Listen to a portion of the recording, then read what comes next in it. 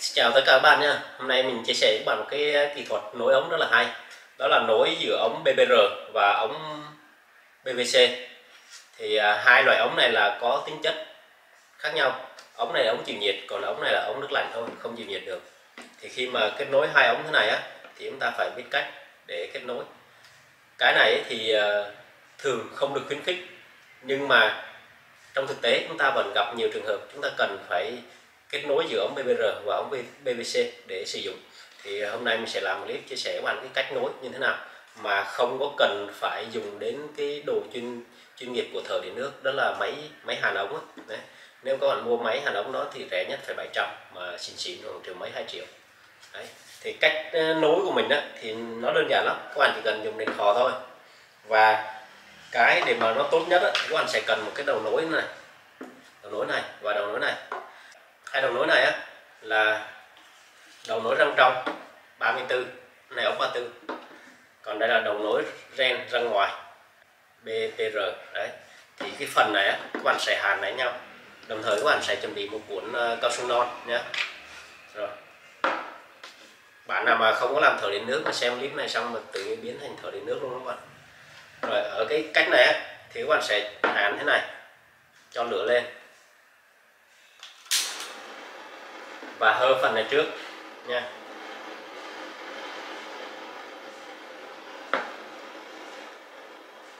Đây. bạn cho lửa nhỏ thôi. Lửa nhỏ có thể đừng có để cho nó cháy nhé. Đấy, nào các bạn thấy nó nóng lên như vậy là ok nha rồi bạn đứng để đó và mình sẽ hơi cái này. Đồng thời á các bạn sẽ kết hợp để giữ nhiệt cái này.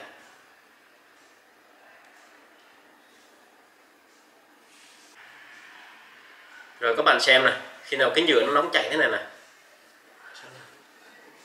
nó chảy nhựa rồi thấy không? Là được rồi các bạn. Thì các bạn sẽ đẩy này vào thôi.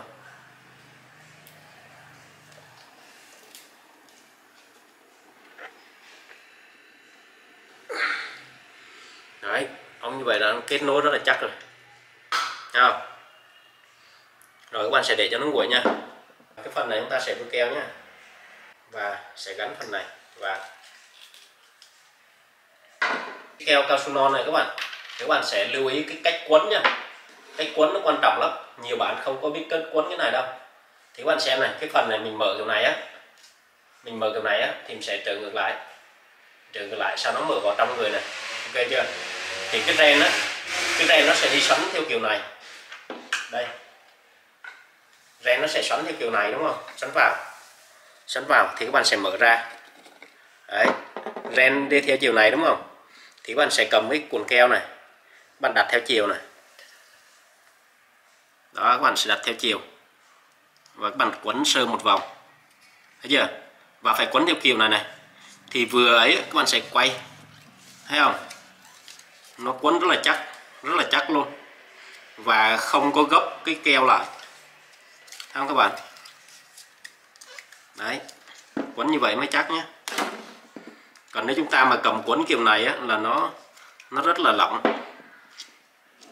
Nếu các bạn cầm mà quấn kiểu này thì nó rất là lỏng và rất khó quấn ha rất khó quấn. Rất khó quấn nhá cho nên chúng ta sẽ không quấn như vậy. Quấn theo cách mình à, chia sẻ lúc này. Và lúc đó các bạn sẽ nối kiểu này lại. Và ở cách nối này các bạn sẽ nối theo kiểu của mình á, thì nó rất là chắc đảm bảo luôn. Đấy. Và nó được cái á, là khi các bạn cần tháo ra thì các bạn sẽ tháo ra để uh, di dời lắp đặt hoặc là sửa chữa thay thế gì đó. Nó rất là dễ. Đấy. Rồi, các bạn thấy clip hay tặng mình một like nhé và nhớ chia sẻ với bạn bè các bạn. Hẹn gặp lại các bạn ở video tiếp theo nhé